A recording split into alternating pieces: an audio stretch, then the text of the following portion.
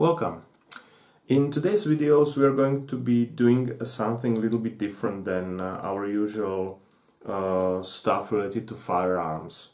I have recently purchased uh, a Lee Enfield uh, bayonet pattern 1907 which was a standard British issue bayonet with uh, the short magazine Lee Enfield service rifle. It was adopted in the year 1907 and used uh, during the First and the Second World War. And um, I decided to find out a little bit more about this uh, this bayonet because um, as is usual with a lot of British bayonets they have uh, a lot of uh, markings either on the steel or on the wooden parts. And I cleaned up this bayonet a little bit um, I cleaned up the wood and uh, I removed the surface rust and I noticed a lot of markings. So I decided to find out a little bit more maybe about the production and uh, who was maybe using this bayonet and so on.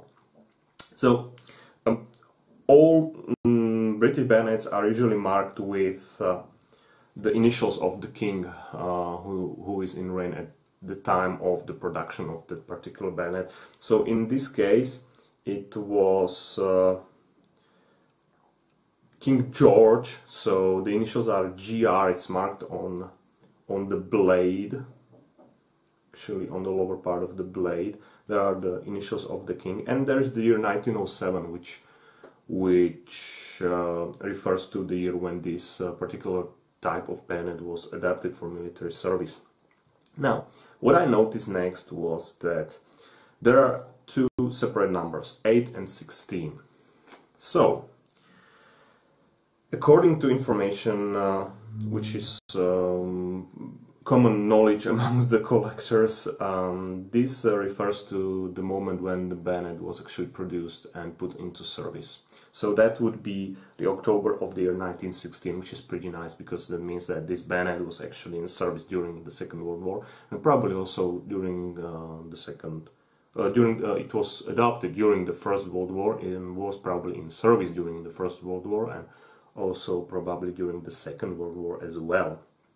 Now, Next one is the marking which shows that this bayonet was actually adopted and removed from official service. So once this uh, became obsolete or was not used by the army or the army decided to sell this for whatever reason, um, it was marked um, as removed from the service and uh, uh, available for, for purchase by private citizens or private companies.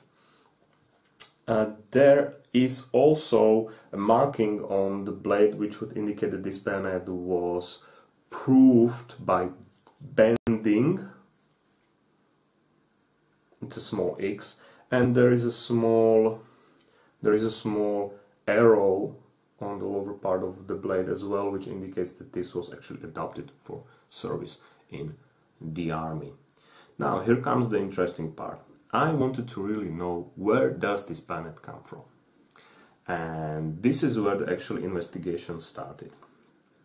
I have noticed that there is a name of the producer on the lower part of the blade. Um, this is spelled Chapman.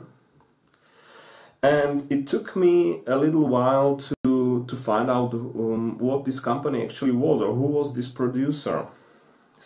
I started with a simple Google search which didn't bring up very much.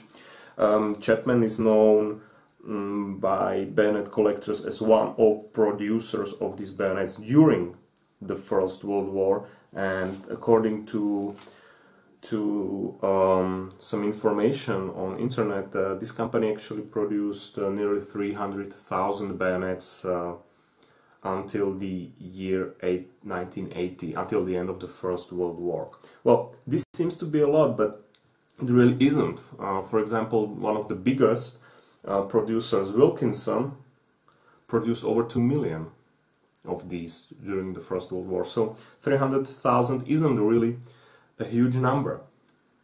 So the next step was to find something, find out something about the company.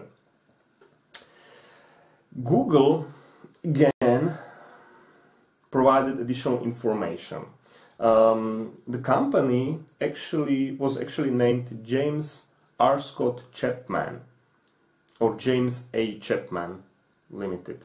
Some of these bayonets are actually marked as JAC, which is abbreviation of uh, obviously of James R. Scott Chapman, and uh, some of them um, some of them are marked James A. Chapman.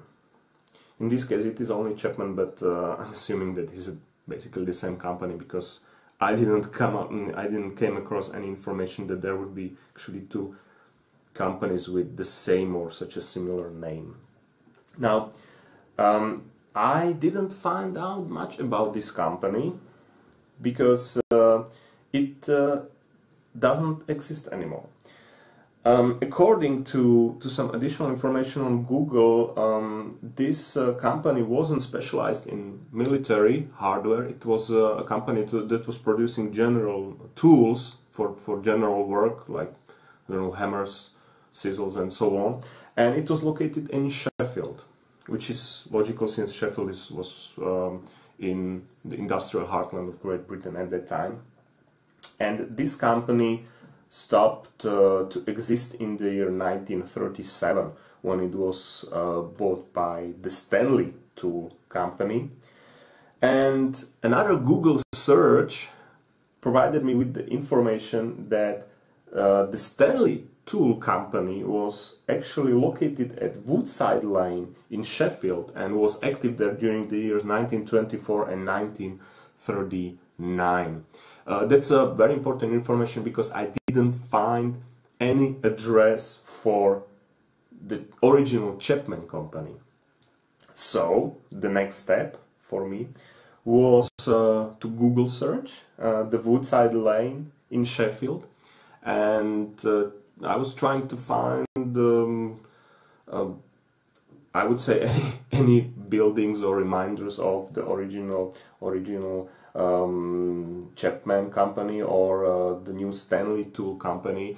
Uh, obviously, uh, I wasn't able to travel to Sheffield in person just to to, to investigate this matter, but I was pretty successful because after a little while searching on, on Google Earth and Street View, I actually found some buildings which seems to belong to the Stanley Tool Company. And some of these buildings actually look very old. They are either early 20th century or late 19th century um, really industrial style industrial era style buildings well so I probably did find a place or one of those places where these bayonets were originally produced in Sheffield but that's not all. I wanted to investigate further.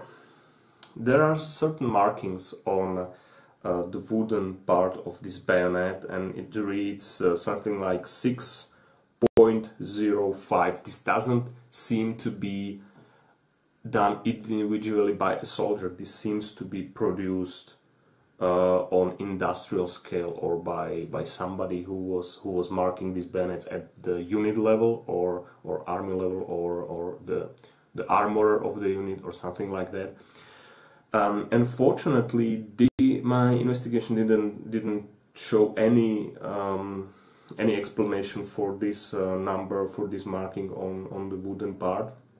These wooden part are original because from the inside uh, they are marked with uh, the usual uh, usual uh, stampings uh, which are also present on the on the steel part of the bayonet.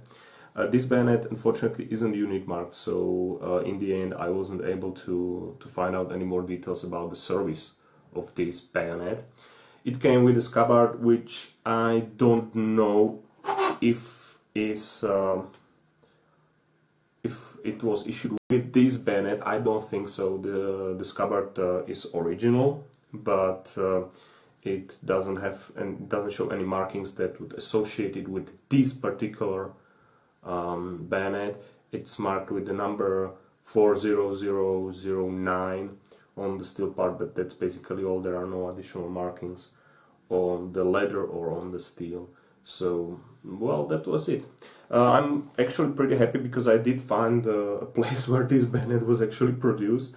and uh, it was uh, it was a bit exciting to to see that this well maybe this is the factory where where this bayonet comes from and where it was produced over 100 years ago. Okay, so maybe we will be doing something like this also in the future because we have a lot of stuff which would be pretty interesting to know where does it come from, where was it produced, and also maybe where did it serve. Thanks for watching.